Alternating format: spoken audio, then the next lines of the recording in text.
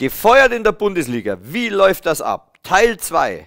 Der Abschied und die Lehre. In den Tagen nach der Entscheidung steht man vor Tausenden von Fragen. Und gleichzeitig ist von einer auf die andere Sekunde Schluss. Und das ist wirklich das Härteste. Man bringt den Dienstwagen zurück, kündigt seine Wohnung, spendet seine Klamotten und versucht noch vom Team Abschied zu nehmen. Oder auch nicht, wenn man sie nicht vom nächsten Spiel ablenken will. Ich habe beides schon probiert. Das eine Mal im Stillen in der Nacht- und Nebelaktion meine Sachen gepackt und für die Mitarbeiter und Spieler noch einen kleinen Abschiedsgruß auf die Plätze gelegt. Noch kurz mit der Familie und dem Umfeld gesprochen, denn die leiden alle mit. Dann ganz wichtig, alles abschalten. Fernseh, Handy, Radio, nichts an sich ranlassen. Aber das Abschalten war für mich noch nie so richtig einfach, gerade mit Kindern oder auch noch anderen Jobverpflichtungen. Und es geht einem wirklich dreckig. Und du kommst nicht so richtig aus der Situation raus, selbst wenn du alles externe abschaltest. Du analysierst in deinem eigenen Kopf die Entscheidungen, welche Dinge hätte man anders machen können, was war mit dem Kader, was war die Ursache,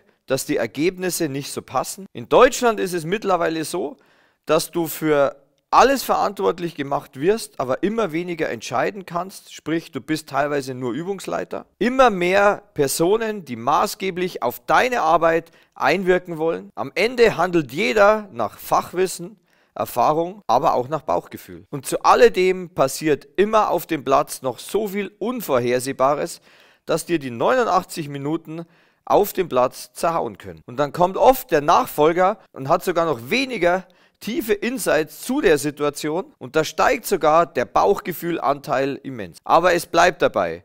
Du sitzt zu Hause und es geht dir echt schlecht, auch wenn sich die Welt drumherum wieder weiterdreht. Und irgendwann beginnst du zu überlegen, wie geht's denn weiter? Dazu dann Teil 3. Also folgt mir, um nichts zu verpassen.